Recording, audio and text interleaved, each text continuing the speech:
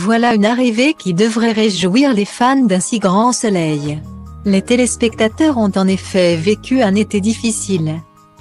Assistant à la mort tragique d'Elsa, à la disparition programmée d'Adèle, à l'évaporation d'Arthur. Au départ de Julien. Trop, beaucoup de, départs dont les internautes s'étaient émus sur le compte Instagram de la série.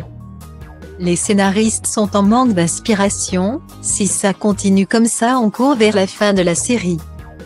Si ça continue dans trois mois tous les acteurs partiront et ce sera la fin, ah ben ça continue. Si tout le monde quitte le navire les téléspectateurs risquent d'aller voir ailleurs. Pouvait-on lire parmi les nombreuses manifestations de désarroi?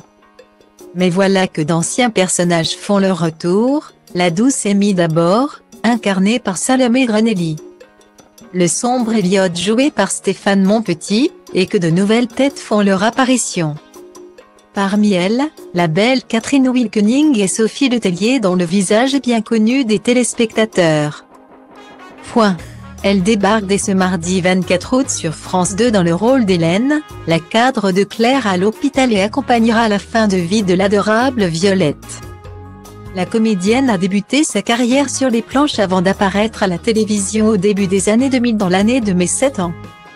Caméra Café, Nouvelle Génération, mais également dans les séries La Nouvelle Mode. La loi selon Bartoli, Alice Nevers, Shérif, Léo Mattei, Brigade des mineurs.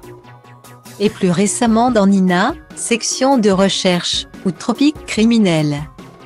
Elle a également tenu le rôle principal dans Mes chers disparus, et un rôle récurrent de médecin légiste dans Alexandra L. Au cinéma, on a notamment pu la voir dans un peu, beaucoup, aveuglément, La Planque. Part vite et revient tard, et l'auberge espagnole.